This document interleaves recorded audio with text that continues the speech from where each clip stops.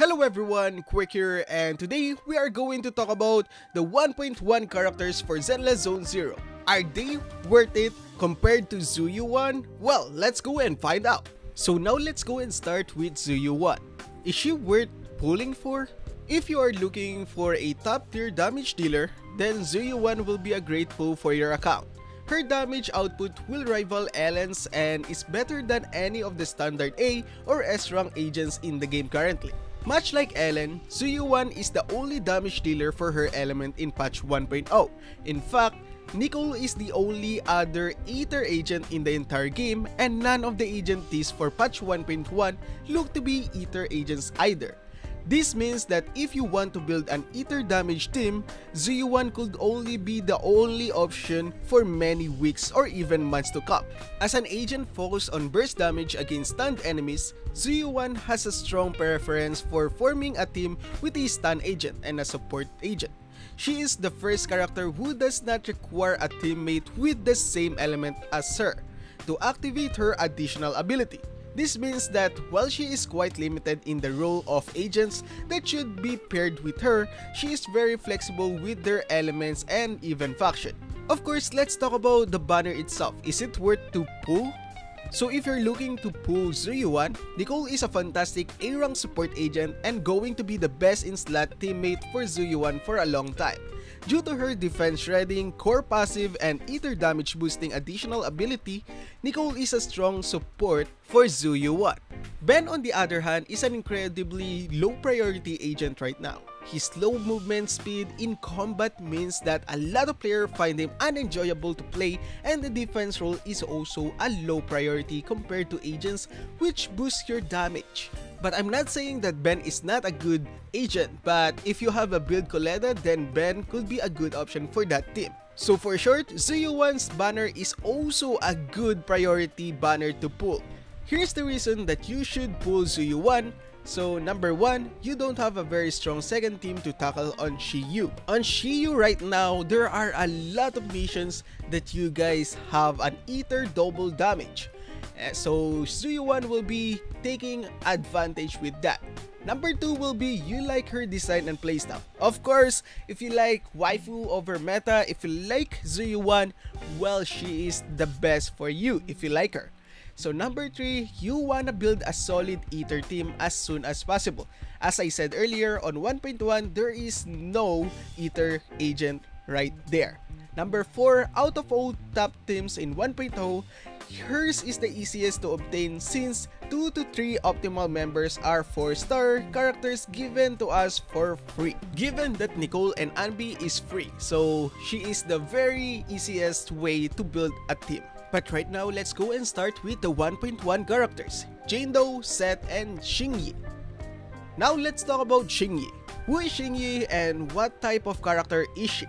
We got brief glimpse of Qingyi exceptional abilities during 1.0 story content, but the next update puts her power directly into our hands.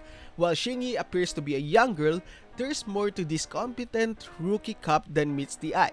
We know that she's some kind of android susceptible to EMP attacks, though that doesn't stop her from wielding her electric button to deadly effect. If you want a stun unit that packs a harder punch than A-rank agent Anbi, then Qingyi is one to watch. Now let's talk about Seth. Yes, Seth is just an A-rank agent. Seth Lowell joins Qingyi as one of the three additional A-rank agents available on her banner. Seth is a rookie in the force but thanks to his never say die attitude and careful mentorship by Commander Zhu Yuan, it won't be long before he rises up to the rocks and he joins Ben as the second defense unit on Zenless Zone 0, raising his riot shield to stop thugs and ethereals in their tracks. Next up, Jane Doe. Okay, Jane Doe arrives during the later half of Zenless Zone 0 1.1, but makes no mistake, she'll be worth the wait. True to her name, she's walking mystery and we can't even tell you what kind of tyrant she is. Though she maintains she's a cat and latest rumors suggest she's a physical anomaly unit, putting her in a direct competition with Piper for your team comp. Though we expect some faction synergy with NEPS units will give her the edge over the A rank So if you're looking forward to build an anomaly team, Jane Doe will be a good option for you. So now, we finished talking about the 1.1 characters. Let's go back to Zhu Yuan.